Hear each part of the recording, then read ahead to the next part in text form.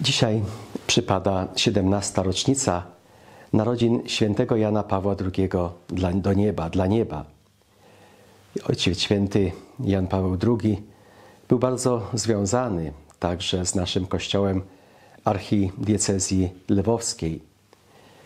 Na początku swojego pontyfikatu zwrócił nam szczególną uwagę na istotę naszego chrześcijańskiego życia, abyśmy nie mieli, nie bali się, abyśmy otwarli drzwi dla Chrystusa, nie tylko naszych serc, naszych domów, ale także życia politycznego, gospodarczego i tych drzwi poszczególnych krajów.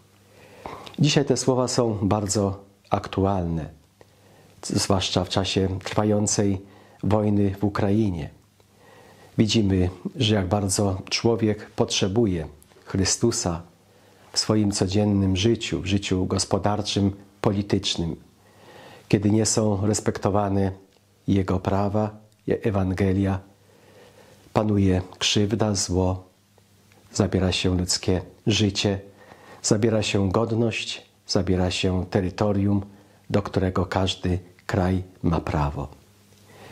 Jan Paweł II, przebywając także tutaj na Ukrainę, chciał podziękować Kościołowi katolickiemu na Ukrainie, że przetrwał w tych trudnych czasach komunizmu, prześladowania Kościoła, że przekazywali tę wiarę swoim dzieciom, wnukom, prawnukom.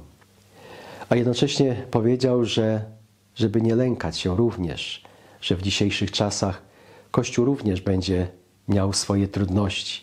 Powiedział to, nie, bój, nie lękaj się, nie bój się, lwowski kościele łaciński, Pan jest Tobą.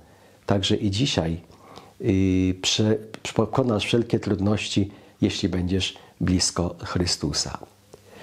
2 kwietnia był dla nas takim dniem bardzo trudnym, ale poprzez swoje życie i poprzez ostatnie chwile Jan Paweł II powiedział, że zawsze musimy być przy Chrystusie, musimy Jemu zaufać.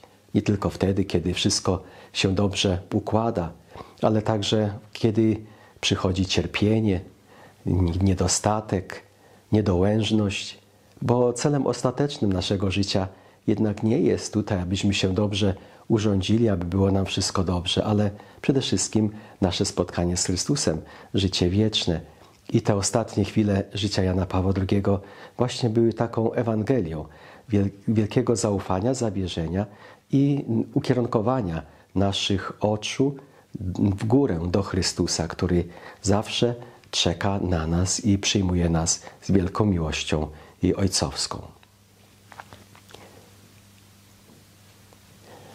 Teraz będzie krócej po ukraińsku.